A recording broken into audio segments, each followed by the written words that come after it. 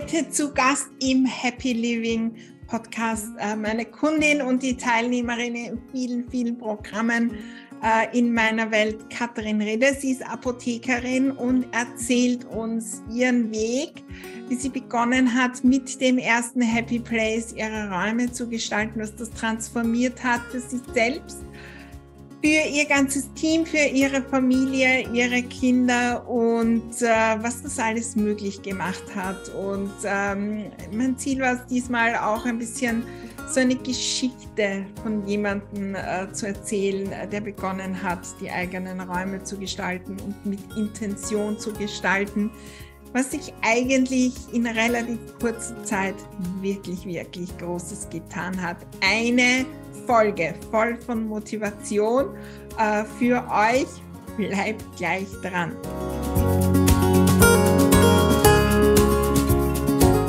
Heute Katrin Redder bei uns zu Gast und wir sprechen über ihre Reise in ihrem Room for Success was die Raumgestaltung verändert hat, ähm, ja, was sich alles bewegt hat. Wir werden über einige magische Dinge auch sprechen. Ähm, freue mich riesig, dass du hier bist, Katrin. Ja, Maria, vielen, vielen Dank ähm, für deine Einladung. Ich freue mich sehr. Ich fühle mich sehr geehrt. Danke. Ja, wir sind äh, quasi für alle, die auch auf YouTube unser Video sehen, äh, in deinem Erfolgsbüro, das jetzt ganz anders aussieht als äh, früher. Ähm, und wir sind vor allem ähm, vom Gefühl her äh, ganz woanders, als, wo, als wir gestartet sind gemeinsam. Äh, erzähl uns mal, wie so der Start war, wo warst du, wie du auch in meine Welt gekommen bist, ähm, als Unternehmerin, aber natürlich auch in all deinen anderen äh, Aufgaben als Mutter, als äh, Frau, als die, die dich, sich selbst stärkt. Also gestartet bin ich bei dir ja gar nicht als die Unternehmerin, sondern als ja. Katrin Ritter, die Mutter von ähm, zwei tollen Jungs, als die Ehefrau. Und ähm, ich habe, ähm, ich bin über, wie so viele in deine Welt, ne, die Welt ist klein, über Simone Abelmann, ähm, bin ich ähm, zur Ordnungsmagie gekommen, weil ich gleich gedacht habe, ich habe immer geglaubt, ich bin total unordentlich ähm, das hat sich mittlerweile, diesen Glaubenssatz durfte ich auch verabschieden ähm, an der Stelle, weil mir ist dann klar geworden, alle haben sehr gelacht, als ich gesagt habe, ich bin unordentlich. Ähm, weil wenn ich nicht in Strukturen denken könnte und Strukturen leben würde, dann wäre ich auch nicht da, wo ich jetzt ähm, bin. Und ähm, als Apothekerin braucht man das natürlich einfach auch fürs Tagesgeschäft. Aber ich bin, die Ordnungsmagie hat mich so abgeholt, weil ich gedacht habe, in kleinen Schritten Happy Places schaffen, drüber, ähm, drüber nachdenken, ähm, mit was umgebe ich mich. Also einfach als Beispiel, ähm, zwei Tage vor meinem 50. Geburtstag, mitten im Lockdown, haben wir unser ganzes Schlafzimmer umgestellt.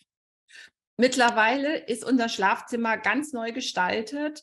Ähm, ich habe immer das Gefühl, ich bin in einem Hotelzimmer, ähm, immer noch, obwohl es jetzt schon ähm, ziemlich lange so ist in dem, in, dem, in dem Sein, wie es jetzt aktuell entsprechend ist. So ist es angefangen. Ja, das passt auch zu einer unserer letzten Folgen, die wir gerne auch verlinken, wo, wo wir das Schlafzimmer äh, angesprochen haben. Ja, und diese, und das ist das Spannende, dass wir oft im Privaten starten, wie du sagst, und dann transformiert sich da auch etwas äh, fürs Business, ohne dass wir viel tun? Was hat sich da vielleicht gleich am Anfang bei dir ähm, auch getan, du, auch durch das neue Denken über dich und Ordnung? Ja, einfach, ich habe nochmal, ähm, ich habe meinen Schreibtisch einfach auch nochmal angeguckt. Ne? Wir haben dann schon auch nochmal überlegt, wie stellen wir, wie stellen wir das Büro? Wir haben dann mit den vorhandenen Möbeln nochmal ähm, jongliert. Also dieses so, wie es jetzt ist, das ist wirklich nochmal ein Upgrade, was nach der Mastermind einfach entstanden ist in so einem 1 zu 1 äh, Call, den wir, den wir hatten, wo wir ja auch in dieser eins zu eins Arbeit miteinander einfach auch gestartet sind. Aber sowas wie, wie da vorne, die Nelke, ne, weil meine Apotheke, Nelkenapotheke, hat die, habe ich jede Woche schon seit langer Zeit eine frische Nelke ähm, für die Kunden und für uns quasi eine stehen auf, auf unseren Beratungstischen. Und mittlerweile ist es normal, dass auch eine für meinen Schreibtisch kommt. Ne? Also so wie der frische Blumenstrauß zu Hause, ähm, gibt es auch nochmal die frische, frische Blume hier für meinen für meinen Schreibtisch. Und mir ist dann einfach auch klar geworden, dass die Basis ist natürlich zu Hause, auch mit der Ordnung, mit dem, was ich mich umgebe. Aber dass, wenn ich hier nochmal einfach mein Unternehmen weiterentwickeln will, dass es einfach ganz wichtig ist, nochmal zu schauen, mit was umgebe ich mich, mit welchen Gegenständen vielleicht. Ne? Also diese Blumenvase habe ich gezielt gekauft, weil ich einfach wusste, ähm, die stelle ich nicht in irgendwas, in irgendein altes Trinkglas zum Beispiel, sondern die geht einfach in eine, in eine einfache, eine schöne Vase, die auch ein Statement ist. Ja, sehr viel Intu äh, Intention. Ja. Hast du, glaube ich, äh, da auch mitgenommen. Was würdest du sagen, waren so die Dinge, die sich verändert haben durch das bewusste Hinschauen auf die Räume in deinem äh, Zuhause, im Privaten vielleicht? Ja, ähm. es sind viele Dinge leichter geworden. Also wir haben auch die Kinderzimmer zum Beispiel neu gestaltet. Und ähm, das merkt man natürlich bei den Kindern, diese großen Entwicklungsschritte, die die innerhalb von kurzer Zeit einfach auch machen, dass die einfach nochmal mega ähm, Sprünge gemacht haben und dass die Welt einfach viel schöner ist, wenn ich in einem, einem schönen Zuhause bin, wenn ich in einen Flur komme, wo nicht Chaos ist, sondern wo ich einfach reinkomme und weiß, ich bin jetzt zu Hause und es ist einfach ähm, wunderschön in meiner Umgebung und da geht immer noch was. Ne? Ja. Ja, ich kann mich erinnern auch äh, an einen Call oder wo auch immer das war. Äh, Katrin war, glaube ich, in allen, allen Programmen der letzten Jahre und überall dabei. Und ähm, äh, wo wir, wo es um dieses äh, Thema gegangen ist, der Dekoration auch, dass die wirklich, wie groß wirkt sie? Mhm. Ja, oder zeigt die eher klein, klein, klein, ja. Und du bist ja jemand, der dann äh, gleich umsetzt.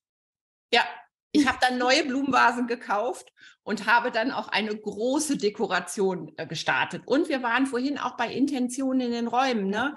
Wir haben, wir haben äh, geguckt, finden wir ein Domizil an der Nordsee und das haben wir gezielt als Intention auch in die Räume ähm, gebracht mit dem Sand von der Nordsee, ähm, mit einem mit Schriftzug, um einfach das im, im Bewusstsein ähm, zu haben. Und ganz ehrlich, das ist ganz schnell die Intention auch ähm, erfüllt worden. Ne? Und jetzt gestalten wir da nochmal Räume einfach auch nochmal neu.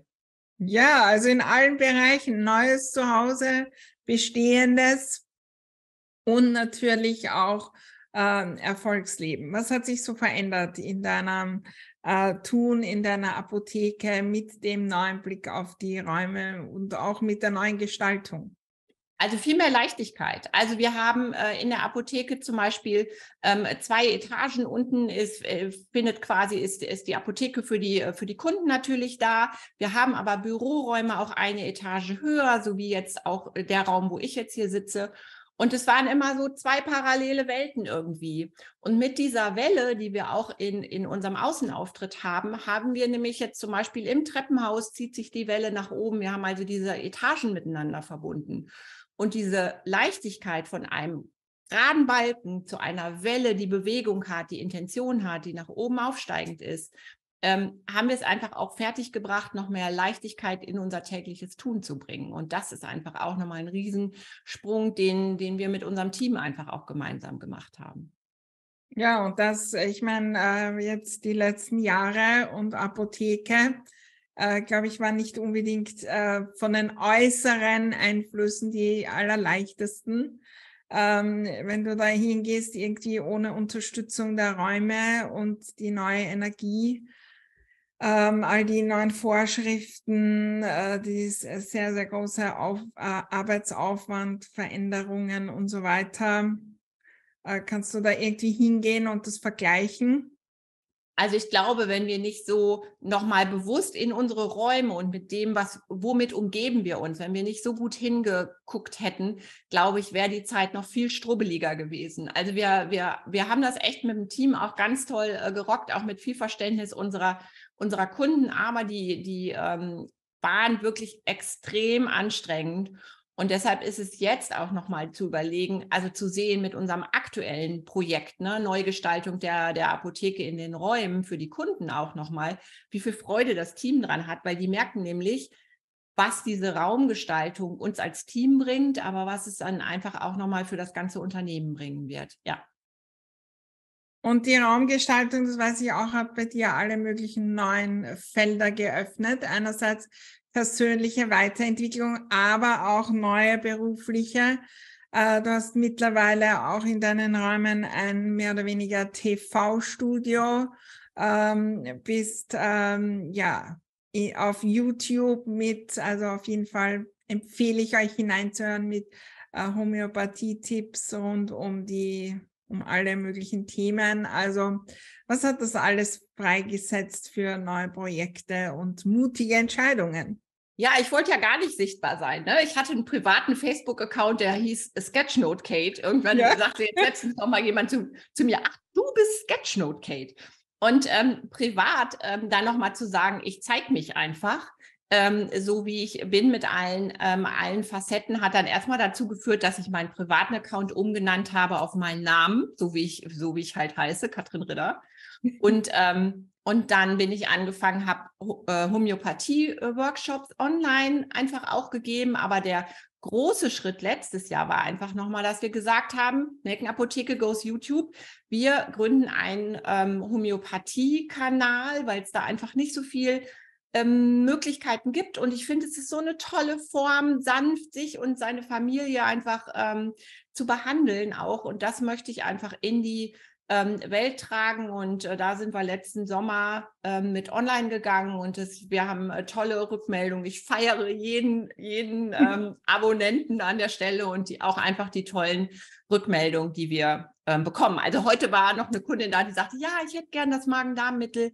Ähm, da habe ich doch das Video gesehen und das ist natürlich was, was mich einfach nochmal wow. antreibt. Und ohne diese positive Energie, die ich auch bekomme durch diese Raumgestaltung, durch die Ordnung, die mich immer mehr umgibt, die ich einfach auch brauche, damit ich völlig in meiner Kraft ähm, bin und sein kann, ähm, wäre das gar nicht, wäre das gar nicht denkbar.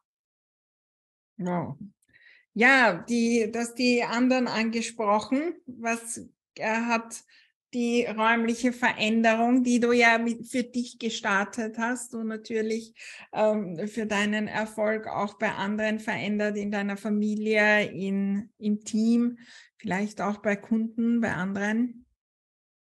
Ja, also ich merke einfach, dass, äh, dass durch, die, durch diese Energie in der Kombination mit wirklich bewusst Intentionen auch zu setzen, das ist ja auch das, was, was du einfach auch uns, uns beibringst, wenn man mit dir zusammenarbeitet, Maria, was dein, dein Antrieb ist, Intentionen zu setzen und zu gucken, was, was kann ich daraus machen und wie kann ich Sachen umsetzen. Das macht mir mein Leben so viel einfacher, so viel schöner, so viel reicher. Und das merke ich auch, dass das einfach Wellen trägt in die, ähm, in, in dieses Feld um mich herum und diese Leichtigkeit, mit der wir einfach auch im Team zusammenarbeiten und immer mehr zusammen wachsen einfach und mehr Verständnis auch füreinander haben. Das ist einfach auch nochmal eine Veränderung, die wirklich, ja, einfach auch so viel Freude macht, das zu sehen. Ja, wunderbar. Das heißt, jetzt kommen neue Projekte und äh, so ein bisschen, meine, vielleicht auch gibt es äh, Zuhörer und Zuhörerinnen, die sagen, Wow, das klingt äh, sehr, sehr groß, aber ich bin ähm, so am Beginn und weiß gar nicht, äh, wie ich dort je hinkommen soll. Gibt es da irgendwelche Gedanken, die du für den Weg mitgeben äh, möchtest auch? Kleine Schritte. Also ich finde, aus vielen kleinen Schritten werden dann halt auch große, wenn man sich umdreht. Und wenn ich gucke, was ich in den ähm, letzten Jahren, äh, letzten zwei Jahren, ne, ähm, sind es ja erst, und wenn ich so denke, dann so, echt? Nur zwei Jahre? Dann an der Stelle oder fast zweieinhalb jetzt, ne? Ähm, diese vielen kleinen Schritte, der erste Happy Place zu Hause in meinem, in meinem Schlafzimmer, den, äh, der schon, ich weiß es nicht, 25 Mal umgestaltet worden ist, aber so ein paar Grunddetails gehören immer mit rein.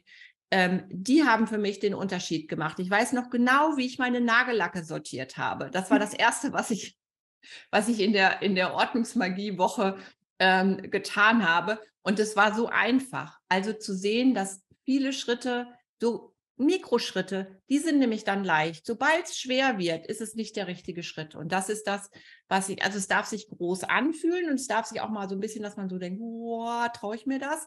Aber wenn ich das nochmal zerlege in kleine Schritte, dann, ähm, dann wird was raus.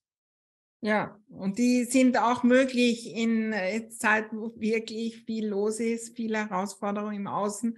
Ähm, bei dir natürlich auch sehr, sehr viel, wirklich Stunden äh, an Arbeit und Nachtdiensten und Wochenende und ich weiß nicht was alles. Ähm, ja, also äh, ich glaube es ja manchmal selbst nicht, dass es erst zwei Jahre sind. Ja, absolut. Also die Zeit ist so, ähm, so verflogen einfach. Und da bin ich einfach ein, ein großer Fan. Und ich finde auch gerade so, ähm, dass das nächste Programm, was ich ja gemacht habe, war dann ja Room for Success, wo ich einfach auch nochmal wirklich gemerkt habe, dass man die Gestaltung der Räume mit dem persönlichen Erfolg und auch wie es mir dabei geht, dass das einfach ideal ist, wenn ich das verbinde und dass daraus einfach größere Dinge entstehen, die man sich erst gar nicht vorstellen kann, ähm, dass es wirklich so ist. Also ich habe da auch in den Calls gesessen und habe gedacht, wenn ich das dann mal schaffe, ähm, was die, was die anderen, die schon länger mit dir zusammengearbeitet haben, einfach ähm, gemacht haben und entwickelt haben. Und da sind ja so manche, die ihre alten Jobs an den Nagel gehängt haben und jetzt was ganz anderes machen, jetzt ihr Herzensthema ähm, einfach auch ähm, leben. Das habe ich sehr bewundert. Und äh, wenn ich das heute denke, denke ich, ja. Und ich habe auch ganz, ganz viel ähm, verändert und mein Leben ist viel bunter, facettenreicher gewesen. Und ich glaube, diese ganze, dieses Eintauchen in, die, in, diesen, in diese Online-Welt die wäre, ähm, die gäbe es heute so nicht ähm, in, der, in dieser Form, definitiv nicht. Ja, das ist sicher auch ein Zusatz äh, quasi Nutzen. Du hast viele Menschen kennengelernt, äh, andere Kurse, hast Freundschaften geschlossen, ähm, Zusammenarbeit und alles Mögliche in dem Bereich auch. Also es ist oft für mich super spannend zu sehen, was eigentlich mehr entsteht als mhm. nur Wissen vermitteln über Räume und neu einrichten. Ja, und es ist so ein tolles Netzwerk. Also es sind einfach auch alles besondere, ähm, besondere Menschen, ne, die einfach auch äh, Lust haben, was zu verändern, weil die, die so eher immer so sind, ähm, ach, die Welt ist doof und das, ich, ich schaffe sowieso nichts und ich kann nichts verändern, die sind da einfach nicht. Und ähm, einfach sich mit Leuten zu umgeben, die einfach in einer guten Energie sind und die einfach merken, ich doch, ich kann was verändern, ähm, das ist einfach auch nochmal ganz wunderbar ähm, zu spüren und mit denen gemeinsam die Köpfe zusammenzustecken und dann auch nochmal sich nicht nur am Monitor zu sehen, ähm, sondern dann auch mal irgendwann zu sagen, und heute dürfen wir uns ja wieder drücken, ähm, äh, ja. Ähm, jetzt lerne ich den Menschen wirklich mal persönlich ähm, kennen. Das kriegt nochmal eine ganz andere äh, Tiefe dann auch. Ja, und in all den Dingen natürlich auch in Room for Success, was da auch in der Mastermind 1 zu 1 Beratung, haben wir uns natürlich auch mit deinen Zielen auseinandergesetzt. Und da kommt jetzt neue Raumgestaltung. Wir sind ja auch schon äh, da dran. Erzähle uns von deinen Zielen und Träumen und was du da alles geplant hast in äh, deinen Räumen. Sehr gerne. Als ich in Room for Success war, habe ich irgendwann mal gedacht, wenn ich mal meine Apotheke umbaue, wie cool wäre das, wenn Maria Husch aus Wien nach Blomberg kommt und wir das gemeinsam machen. Und das war so groß und so undenkbar und so weit weg. Und jetzt lache ich fast, weil im April warst du bei uns, ne? Und ja. ähm, bist wirklich da gewesen. Und ähm, was wir nämlich jetzt machen, ist, wir, wir haben die Möglichkeit, die Apotheke zu erweitern, den Kundenbereich zu erweitern und diese Neugestaltung, deshalb ist es viel mehr als ein Umbau, weil wir an ganz vielen Schräubchen nochmal drehen, neben den neuen Räumen. Ähm, da begleitest du uns einfach auch. Und da werden wir einfach, und da sind wir mit einer Intention dabei, da geht es nochmal drum, oh, jetzt plaudere ich aus dem Nähkästchen, ne? wir kriegen, werden eine besondere Deckengestaltung kriegen. Da hängen nicht nur einfach Lampen drunter, mehr wird aber noch nicht verraten, sondern wo es, wo es bewusst einfach darum geht, zu sagen, ähm, wir wollen, dass Menschen mit einem guten Gefühl, also nicht nur einfach mit ihren Medikamenten den Raum verlassen, sondern die sollen sich gestärkt fühlen, sowohl die Mitarbeiter und das Team, ähm, wo wir da sind, aber all, auch unsere, unsere ähm, Kunden.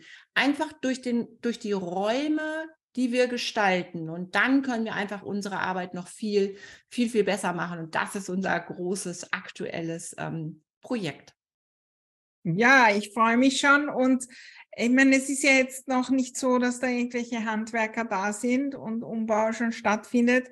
Aber ich habe so das Gefühl, es hat schon viel, äh, viel bewirkt. aha, jetzt läutet es bei mir, keine Ahnung, wer da kommt, ähm, sehr, sehr viel bewirkt. Äh, was hat schon bewirkt überhaupt, so ein Projekt äh, ja, in der, im Kopf mitzunehmen, äh, Überlegungen zu machen, in die Planung zu gehen? Äh, die Transformation beginnt nämlich oft schon viel, viel früher, gerade bei so großen Projekten.